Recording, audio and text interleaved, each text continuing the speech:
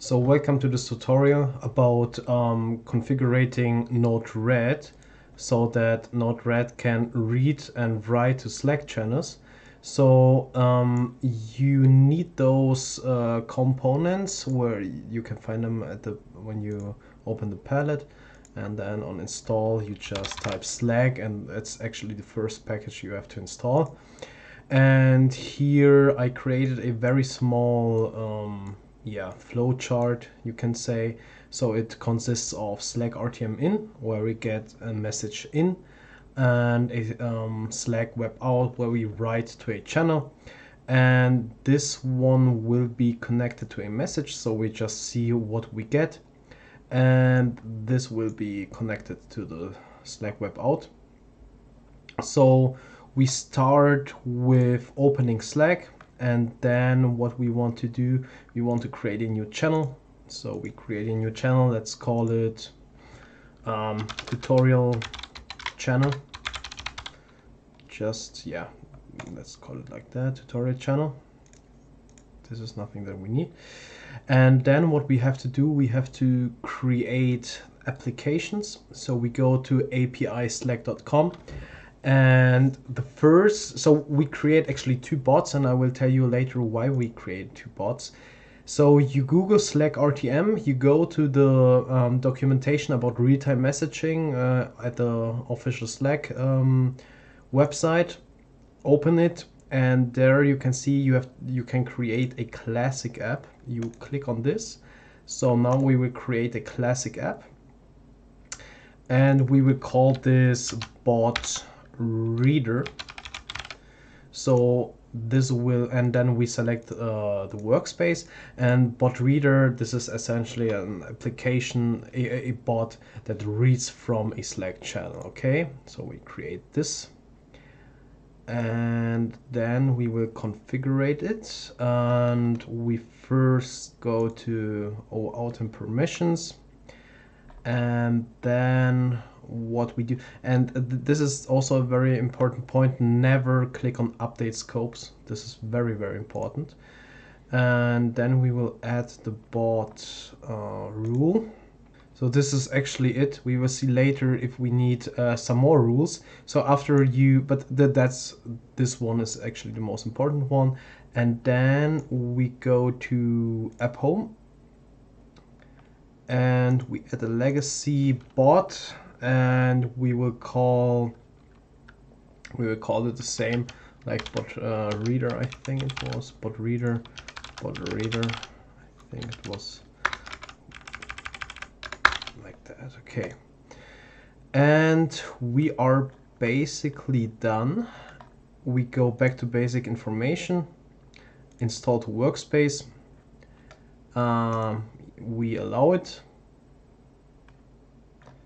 and yeah that's it. Uh, we are getting also now the token. You will see in an out. And we need this one. The the token for the bot user user. We go to node-red we conf uh, we click on slack rtm in. We configure a new slack client. Then we can call it bot reader.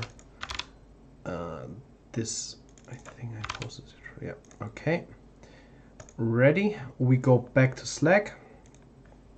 Go to our channel.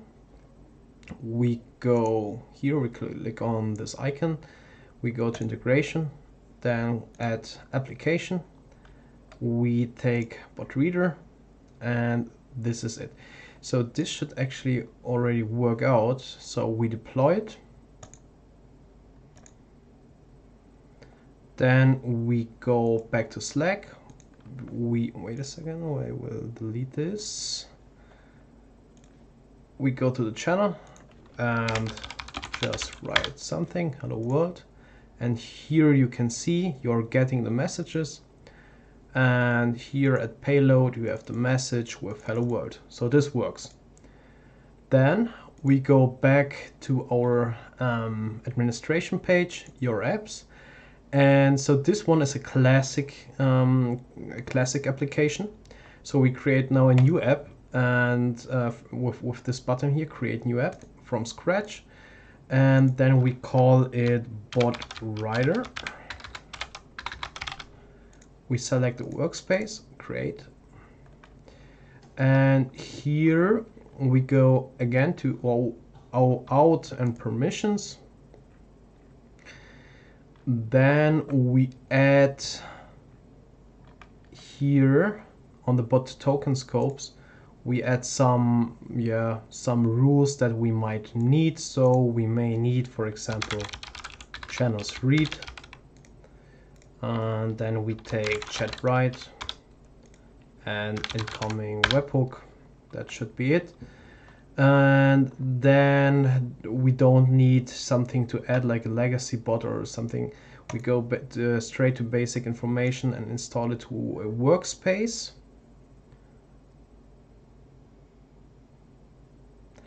Then we pick the channel and uh, this that was tutorial channel I think. We go to OK then we go back to OAuth and permission.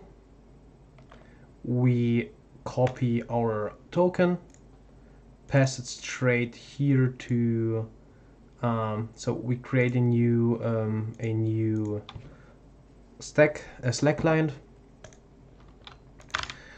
Pass in the token, let's call it bot writer, so we know it, writer, okay. Bot writer okay. And uh, we go back to slack. Again to our channel disk icon integration add app and here bot writer okay we are done with this. And then let's see what we actually do. We have a inject uh, component uh, which creates a time step it goes to a function where we uh, have a topic, we call it chat me message, and we have a payload where we uh, state the channel where we want to write to. So this is an, an old one, tutorial, uh, what do we call it, tutorial channel? Wait, tutorial channel, yeah, exactly. And yeah, let's call it hello world. Okay and this will then go uh, straight into the Slack um, web out component. We will deploy it. So let's try it anyways. So even though it, it showed an error, you can see that if I press on um, on the timestamp on the inject button, you can see in Slack I'm actually adding uh, messages here. So yeah let's do it like that. And then you can see I have a lot of hello world and then again if I delete it and I write hi then we will receive here the payload with hi. This is also an error I don't know in uh, account inactive. Uh, it doesn't mean anything, uh, just ignore it. And one more thing, we can also use only one bot, for example, only the bot reader. And here I created something, I created a, um, let's do it from scratch. I, I will um, take one Slack web out, connect it, then um, this one I will delete this one real quick. And then we go back to our administration page my apps. We go to the bot reader and um, one more thing uh, slack rtm out uh, doesn't work for me. I don't know why. Uh, I, I couldn't make it run but um, you can use um, the the bot reader the bot reader's uh, user token. Here this one we used this one previously so you can use this one above. Copy it. Create a new slack client. Let's take it user writer. Call it user writer